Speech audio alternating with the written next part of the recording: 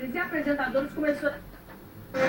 15 para as duas da né? tarde, nossa seleção joga com a Austrália.